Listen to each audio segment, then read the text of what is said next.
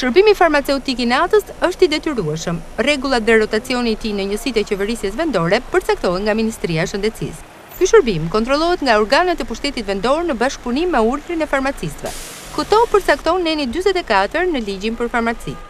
Megjithëse ligjërisht shërbimi farmaceutik i natës cilësohet i detyrueshëm, në Durrës është e vështirë të gjesh farmaci të hapura pas mesnatës. Ky shërbim nga vetë farmacistët vlerësohet si i domosdoshëm në rastet e patologjive akute deri në shtrimet urgjente në spital gjatë orëve të vona të natës, pasi pacienti duhet të trajtohet me barna dhe mungesa apo vonesa e tyre mund të përkeqësojë gjendjen e tij shëndetësore. Edhe në rastet më të lehta, si virozat stinore apo sëmundjet kronike, këshillimi dhe medikamentet qetësuese luajnë një rol thelbësor. Të rezervuar, farmacistët shprehen se ofrimi i këtij shërbimi pa ndërprerje nuk i krijon ndonjë lehtësi nga institucionet shtetërore. Nga ana tjetër, ata pohojnë se kanë kërkuar në Ministrinë e Shëndetësisë të pajisen me një leje të veçantë për ushtrimin e këtij aktiviteti, por vakumi ligjor nuk e mundëson këtë.